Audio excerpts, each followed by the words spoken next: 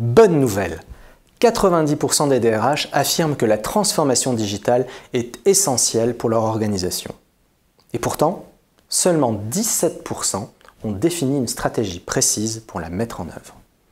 Résultat, on assiste très souvent à une approche plus technologique que managériale de la transformation.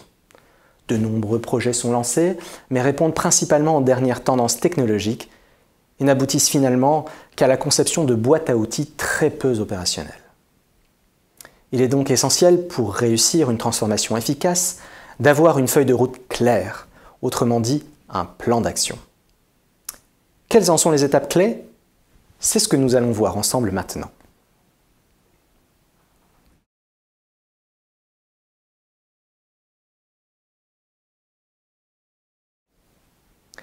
Comme tout projet de transformation, la première étape consiste à rechercher l'adhésion du comité de direction. Comment? Au travers de présentations de cas d'entreprises concurrentes, d'interventions d'experts, de business case ou de ROI. Finalement, tout ce qui permettra d'avoir une vision claire du sujet et du but recherché. Retenez que cette première phase est importante. C'est ici que vous allez co-construire le projet de transformation et le partager. Il est essentiel de répondre à des questions de type quelles sont les orientations stratégiques de la direction générale à prendre en compte par la DRH Quelles sont les demandes de la direction, des collaborateurs? Quel type de management pour demain? Bref, c'est cette étape, parfois ingrate, et vous l'aurez compris, la clé de voûte sur laquelle repose votre projet. Donc définissez vos objectifs au plus près et autorisez-vous des erreurs.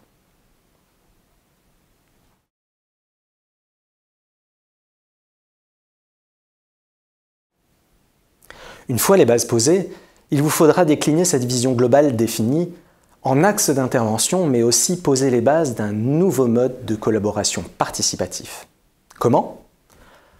En construisant une équipe projet, transverse et engagée, mais aussi en impliquant l'ensemble des collaborateurs de l'entreprise. C'est lors de cette étape notamment que vous préciserez les rôles de chacun ou les modalités de communication par exemple.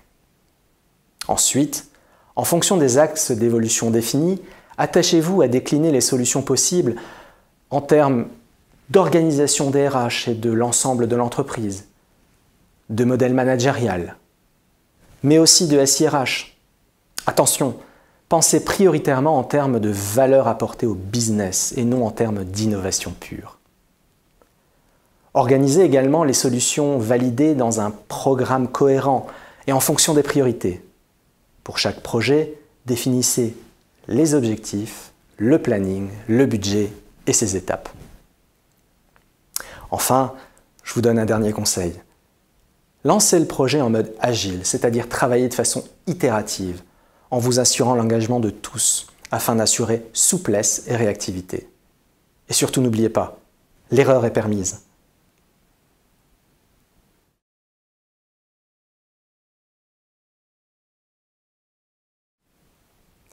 Dernière étape, et pas des moindres, car c'est souvent lors de cette étape que le bas blesse.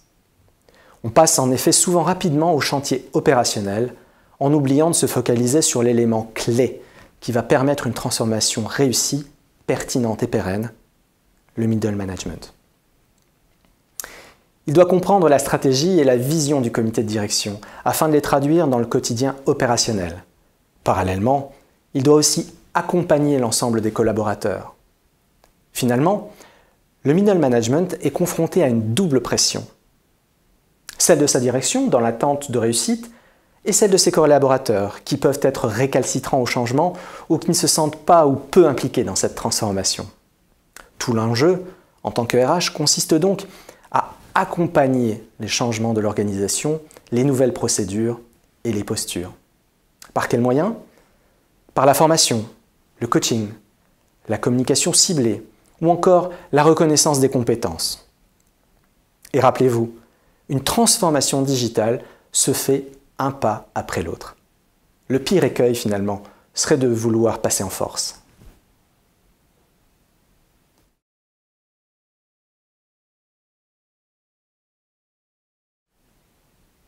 Dans cette vidéo, nous avons vu qu'une transformation digitale, comme tout projet de transformation, nécessite d'avoir une feuille de route définie avec trois grandes étapes.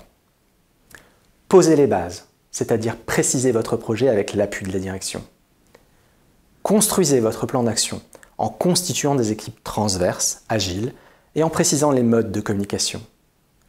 Déployez vos projets prioritaires tout en effectuant un accompagnement au changement des middle managers en premier lieu.